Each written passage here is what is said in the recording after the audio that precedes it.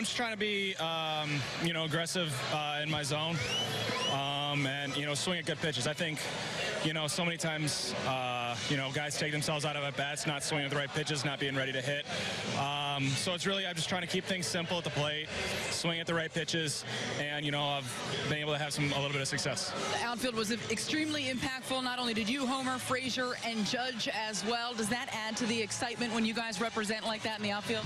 Yeah, I mean, you know, when everybody is, you know, clicking on offense, like that's those are the games that are really fun. When it's just, you know, next man up, you know, kind of just pass the baton, you know, from top to the bottom of the lineup. So, yeah, it's awesome. You know, um, home runs are really fun. Aaron Judge exited with a left oblique injury. If he's lost for any amount of time, what does that do to this team? Um, you know, obviously he's you know a key part of the team. Um, you know, obviously the the performance in the field and as well as his uh, leadership skills.